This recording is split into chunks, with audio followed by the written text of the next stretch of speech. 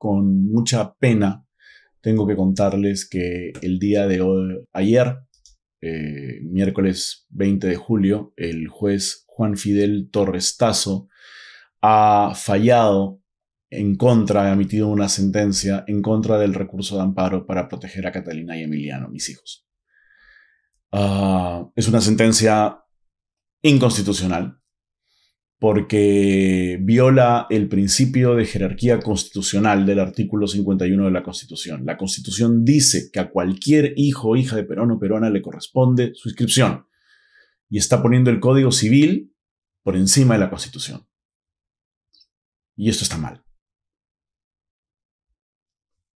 Así que es un día decepcionante. Pero tenemos derecho a apelar. Así que, de acuerdo a lo que la ley dispone, vamos a interponer un recurso de apelación contra la sentencia del magistrado Juan Fidel Torres Tazo, que ha sido inconstitucional y que desprotege, deja vulnerables y le quita derechos a Catalina y Emiliano.